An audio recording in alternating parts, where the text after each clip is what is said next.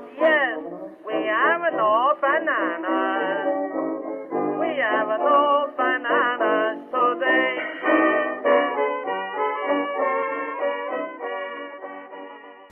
I'm Amanda Richards with the UT Libraries in the Betsey B. Creekmore Special Collections and University Archives.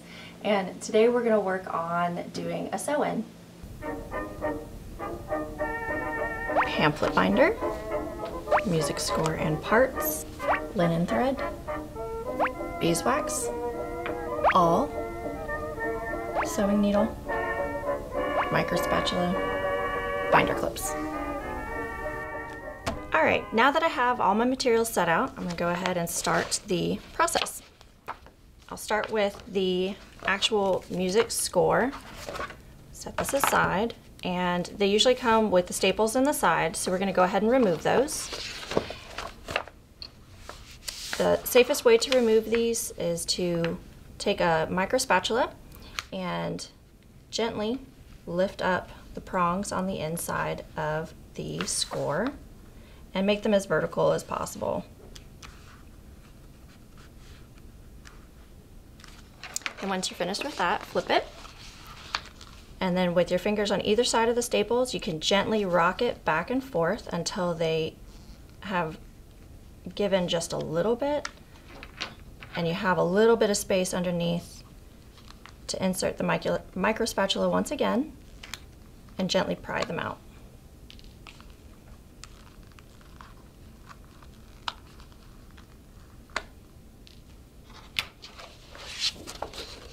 Now that your staples are removed, we'll go ahead and grab the pamphlet binder here. And I have these spine wrap binders.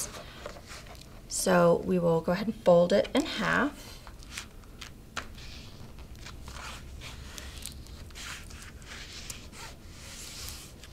And then I fold the tape back as well. Gently jog the papers to make sure they're all lined up and place them in the correct direction into the pamphlet binder. And then from here, just gently line up on either side. Grab your binder clips.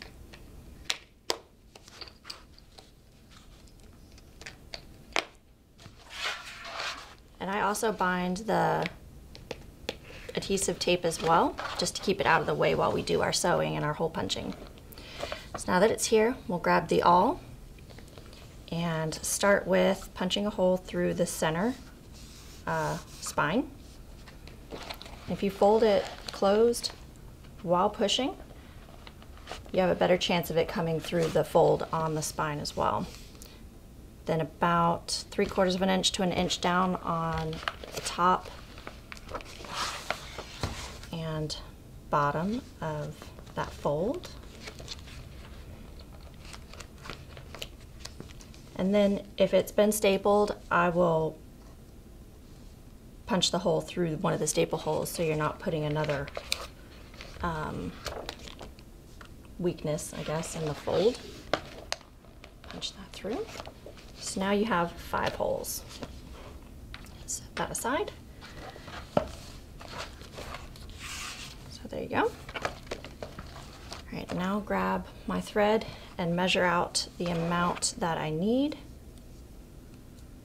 which will be five lengths of the spine. So one, two, three, four, five.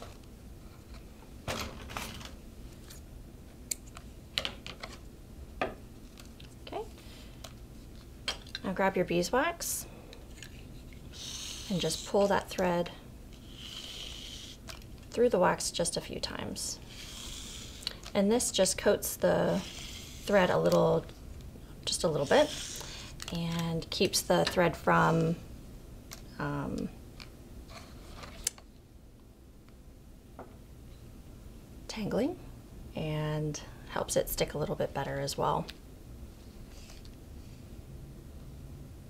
All right. So now that you have your needle threaded and the threads are lined up, you'll start the sewing process. And because I use the spine wrap, I start from the outside in the middle hole.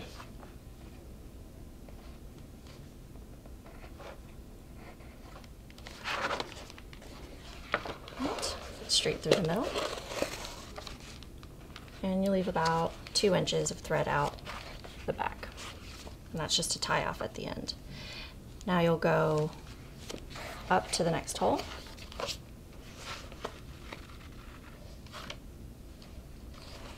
And then in through here.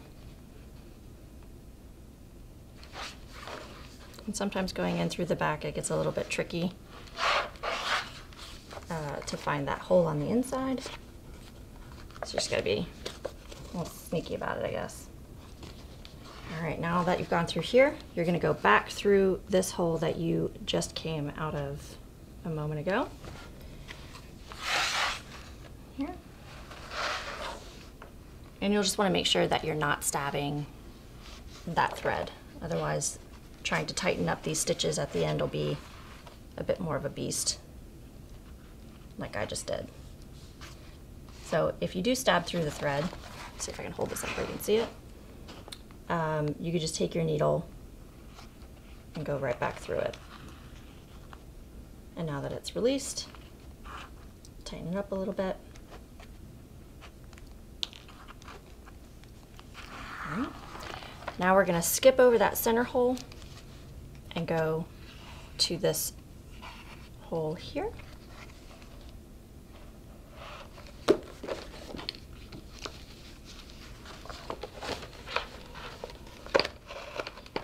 and just follow the same general process as before. So through the last hole.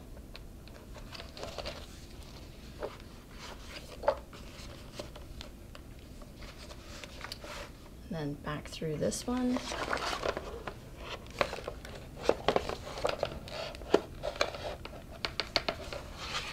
And then lastly, back through that middle hole. Now, if your needle gets stuck and you're having a hard time pulling it through, you can grab a rubber eraser and hold your thumb and the needle uh, together and pull the thread through and it just gives you a little bit extra grip. Right, now that you have gone through all the holes that we punched, we will line this up so this long thread that goes from here to here is between these two uh, end threads. And I'll take this moment to tighten up and I'll start at the ends and give it a couple gentle tugs and then I'll pull each tail. You don't want to pull hard enough that you're pulling through the holes, but you want it to be hard enough that you have a little bit of tension on the inside. And then cut the needle off and then you'll tie a square knot. So basically what that means is when I tie my knots, this hand, I usually have that thread on top. So for me, it's the left thread on top. And then when I go to tie the knot again, instead of putting the left thread on top, the right thread goes on top. And that just makes the knots go in opposing directions. So when you tie your knot and tighten it down, you have less chance that that knot's gonna slip out on you.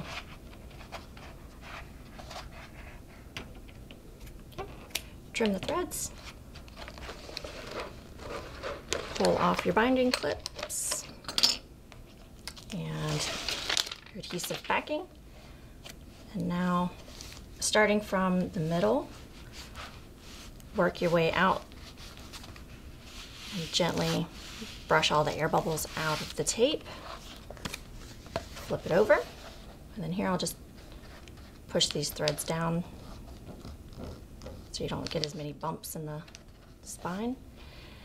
Then it's kind of hard to explain, but I take all my fingers and kind of work it up on the spine first and then gently down to try and make sure everything's coming down evenly. And then starting from the middle, working out, working all those air bubbles out.